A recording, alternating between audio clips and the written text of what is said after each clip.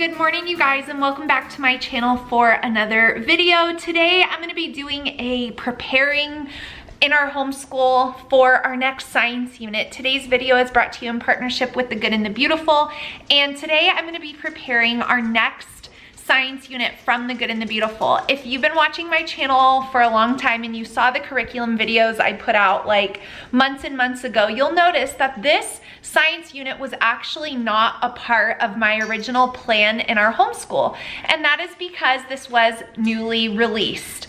Um, this unit came out in the middle of our school year and when it arrived, I knew my kids were gonna be super excited to do it. And so today I'm gonna show you guys how I prepare our science units. This will be our next science unit in our homeschool, and I'm really, really excited about it. So if you guys guessed the reptiles, amphibians, and fish unit study, then you were correct. This is a science unit study from the Good and the Beautiful for grades K through 8 and when this showed up, I knew my kids were going to want to add this into our uh, rotation for this school year. So this is how the unit comes packaged from the Good and the Beautiful, just in this plastic shrink wrap here. And then I did get the additional book pack. So we have Curious Reptiles and Amphibians, which is a very cute, colorful um, book with interesting facts. My kids always love fact books. Then we have this one, the Reptiles, Amphibians, and Fish Questions and Answer book. Um, this was written by the team at The Good and the Beautiful, and so um, really cool like questions. I was thinking about doing just a daily question as we go through the unit. Um, and then the last book we have here is a story of a rattlesnake. This will be like a quick science read aloud um, that will correlate with the unit. So I love having those books on hand. I have not been going to the library very much at all. And so it's nice to have new books to do our science unit. So the first thing that I'm going to do, well, the first thing I did was empty out geology from my science binder here. So I took geology out, so we're done with that. And so now what I'm gonna do is I'm gonna open up the science unit. That's obviously step number one. I'm going to make piles. So I'm gonna have a pile for three hole punching, which will be my teaching, and then a pile for photocopies for the kids, and then a pile for cutting out and assembling. So those are the three piles I will make and it will take me no time at all. It is exactly um, about 10 o'clock now and so I will tell you guys just how long it took me to do this to give you an idea of, you know, the time commitment involved, but it really doesn't take much time at all. So again, I'm gonna make those three separate piles as step number one for assembling our next science unit.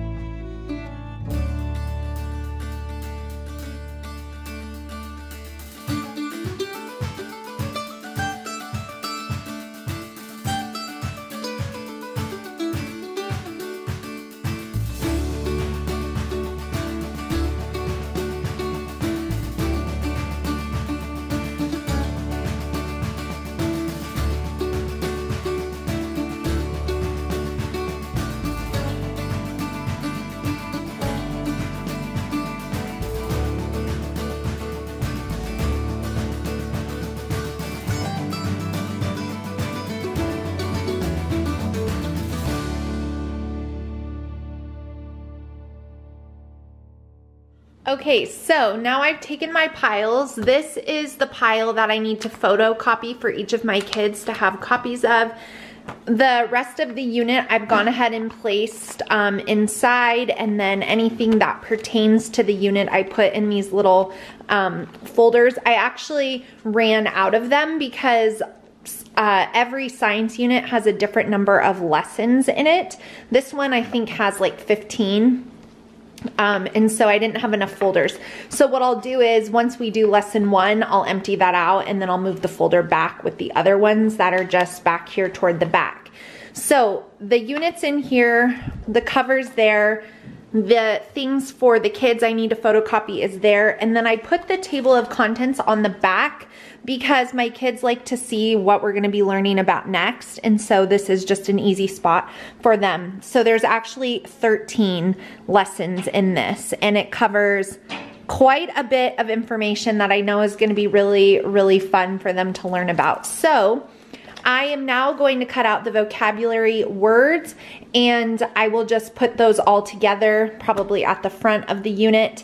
And then after that, my next step before I make photocopies and um, put them in my kids' science folders, that will take me the longest amount of time, is I love that The Good and the Beautiful always has um, the supplies needed at the front of every unit. So I'm gonna go through and just make sure that I have everything for all of the um, units. That way, if I don't, I'll make a list and I will get to the store before we start this.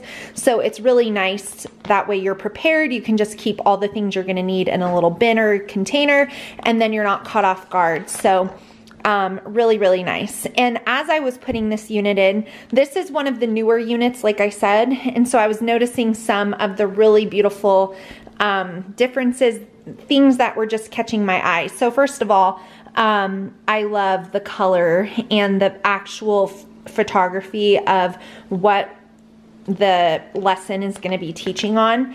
I also really like the objective section here. I like to read that to my kids so that way I can tell them, you know, what we're going to be learning about that day. And then they always include a preparation so you know what to do um, the night before you're to be teaching your unit. So I just really appreciate that. But this unit is full of amazing photography. So, so beautiful. Turtles, reptiles, um, identifying crocodiles. It's just to be a really good one. I can already tell. I have a good feeling about it.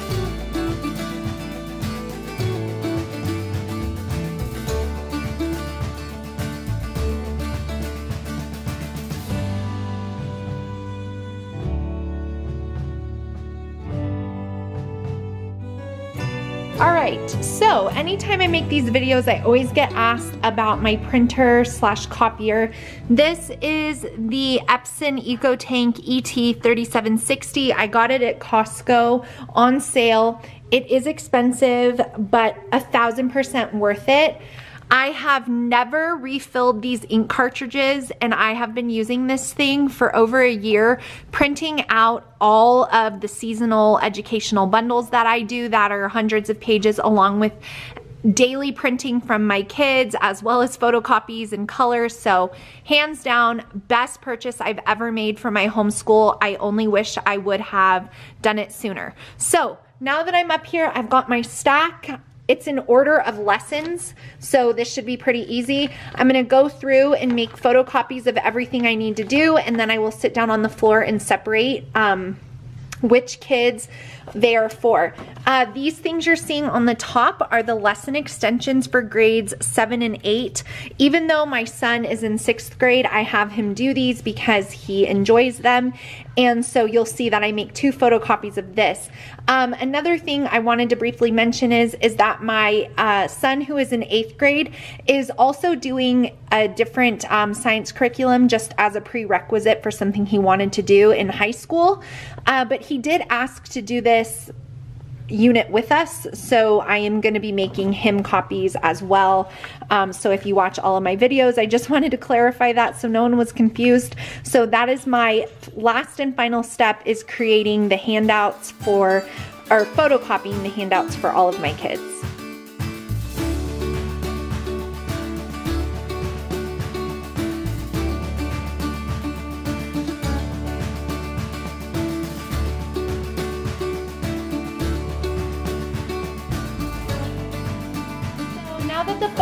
photocopies are made, the last thing I'm gonna do is put them into my kids' science folders. I know some people like to three-hole punch them, spiral them. You can really do whatever you like. I like to leave them loose, and then what I have them do um, in here is this still has geology stuff in it, but once they're done, I have them move all of the completed things onto one side.